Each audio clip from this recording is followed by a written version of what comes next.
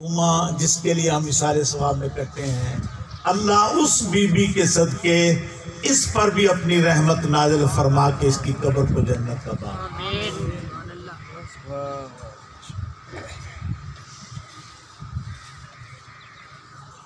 आप खुद गौर फरमाएँ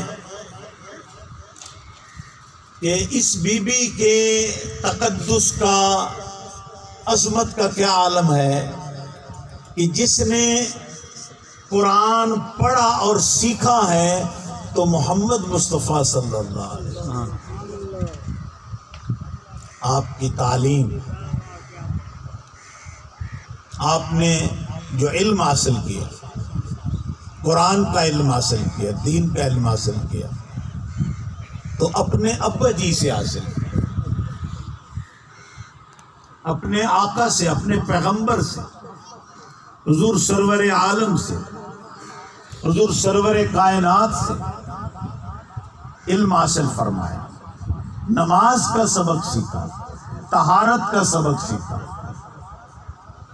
लियाकत का सबक सीखा, इसमत का सबक सीखा, अदब और हया का सबक सीखा। तो मुअल्लिम कायनात हज़रत मोहम्मद सल्लल्लाहु अलैहि वसल्लम से सीखा जिस बीबी की सबसे पहली नमाजें अल्लाह के रसूल के पीछे पड़ी गई जिसने कुरान पढ़ा हो तो अल्लाह के रसूल से पढ़ा हो। जिसने दीन पढ़ा हो तो अल्लाह के रसूल से पढ़ा हो।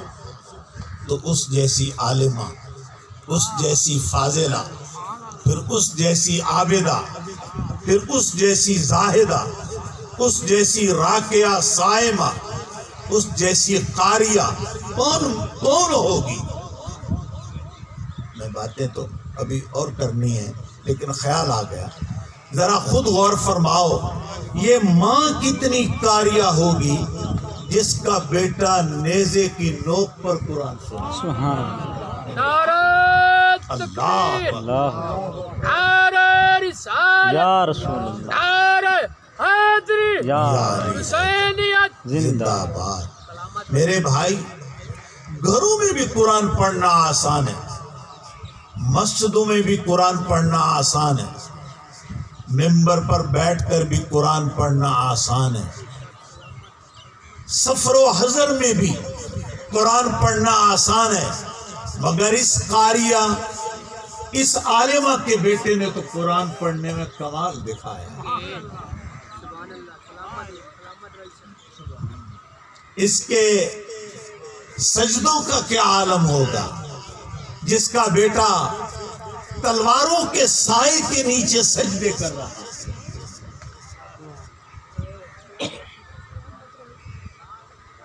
सजदे तो लाखों ने किए, भाई इसका नया अंदाज है। सजदे तो लाखों ने किए इसका नया अंदाज है। इसने वो सजदा किया जिस पर खुद खुदा को नाज है।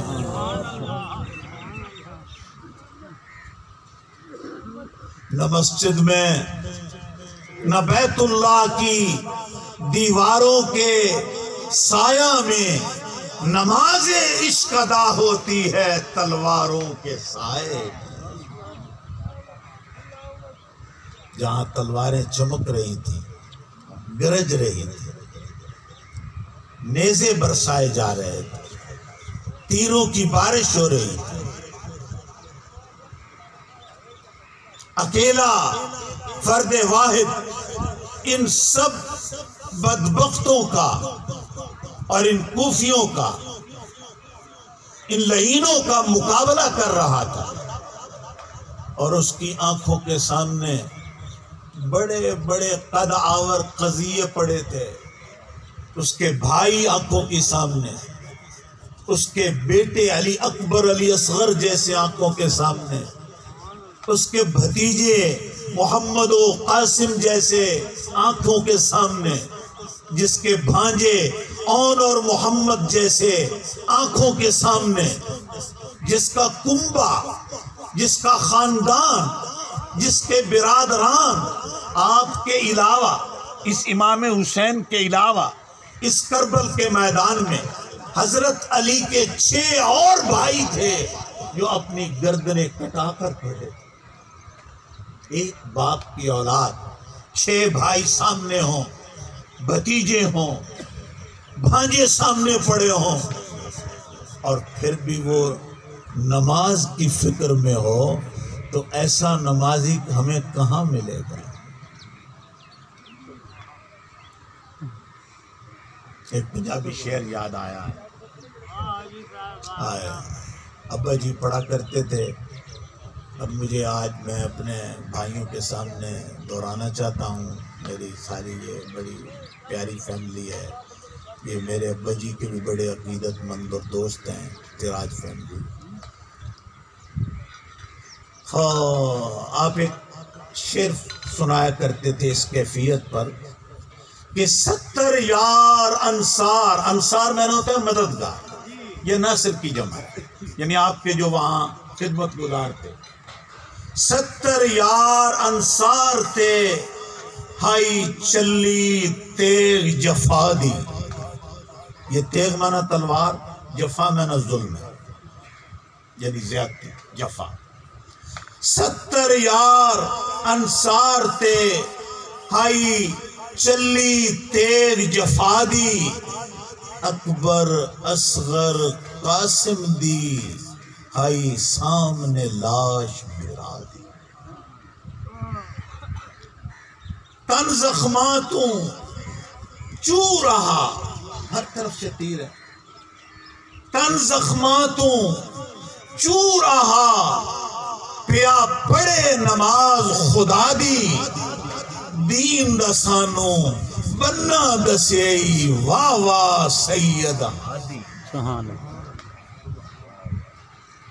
इस आलम में भी नमाज़ की फ़िक्र है। सामने खानदान है। मस्तूरात तैयबात खैमों में हैं। जिनका लहजे के बाद पता है कि इनको कैदी बना लिया जाएगा। इन सारे मामलात पर नज़र रखते हुए भी वो अल्लाह का बंदा, वो हुसैन इबन अली, वो शाहजादा रसूल, वो नवासा रसूल, वो पैगंबर के कदों पर सवारी करने वाला, पैगंबर की पुष्ट पर बैठकर अपने नबी के सजदे का नज़ारा करने वाला। ये सजदे कैसे किए जाते हैं? नमाजें कैसी पढ़ी जाती हैं? क्याम कैसे किया जाता है? तस्बीहात किस जौक से पढ़ी जाती हैं? वो मेरे पैगंबर की अपने, नाना की अपने अपने रसूल की तस्वीर समात कर रहा है।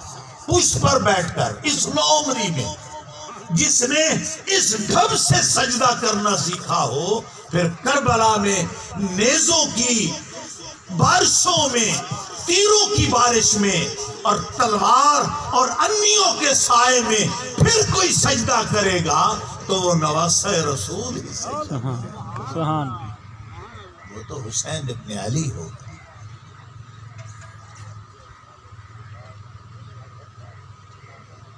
दर्स के लिए एक और मुझे शेर याद आया। हम सबके लिए सबक है। हाँ आप फरमाते हैं आपकी नमाज़ जमाने ने देखी, आसमान वालों ने देखी, ज़मीन वालों ने देखी, गैबी मखलूक जिन्नात ने देखी। एक गोगा है आलम में कि क्या अजीब टाइम है कि हुसैन सजदा कर रहा है। तो इस कैफियत पर किसी ने क्या खूब फरमाया? वो कहते हैं नमाज़ पढ़ंदा वल सिखलाए वाह सैयद वडे शाना